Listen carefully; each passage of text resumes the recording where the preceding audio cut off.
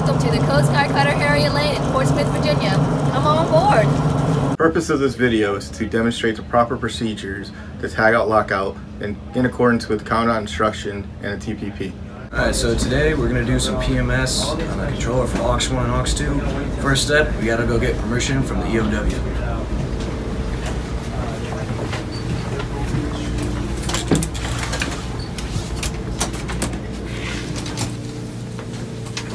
MK1, POW, correct? Yes.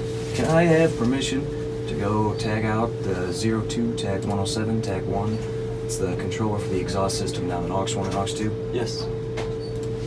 Step 2 is identifying what needs to be tagged out.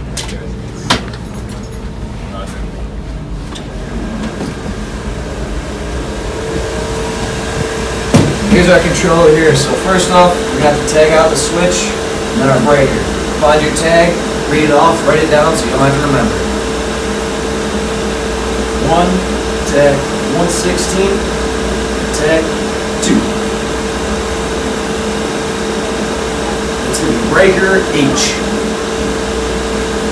So step 3, we're going to secure power to the piece of equipment following standard operating procedures.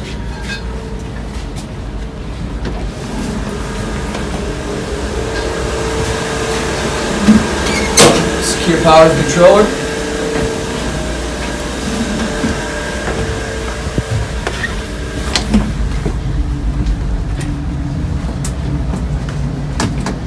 Wrote down our tag number so we know what breaker it is. Breaker H.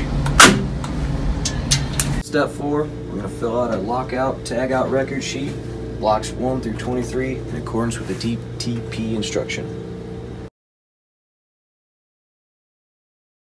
Step 5 is filling out the appropriate blocks on our danger tag, or in this case tags, after obtaining the authorizing officer's signature. Step 6, we're going to install our lockout devices and install our tags.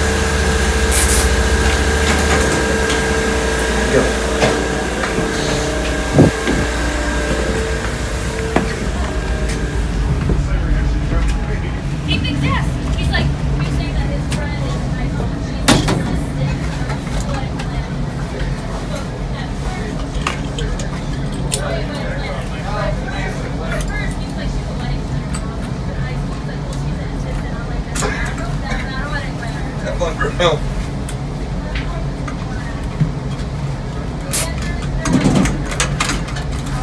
and secure.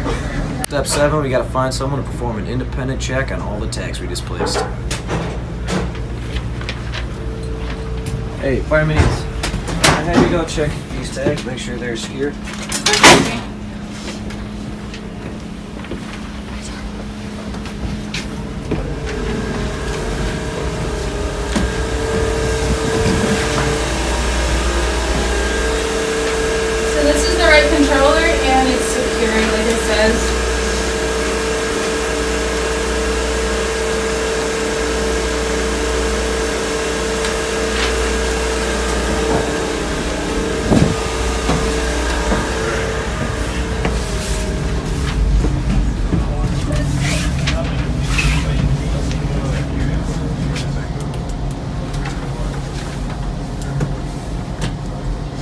And this is the right breaker and it's secured like zero.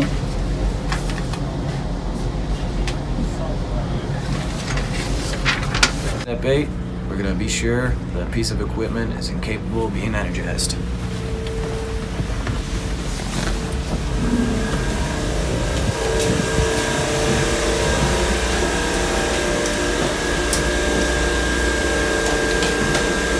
Now that we've ensured the equipment is de-energized, it's time to perform our maintenance.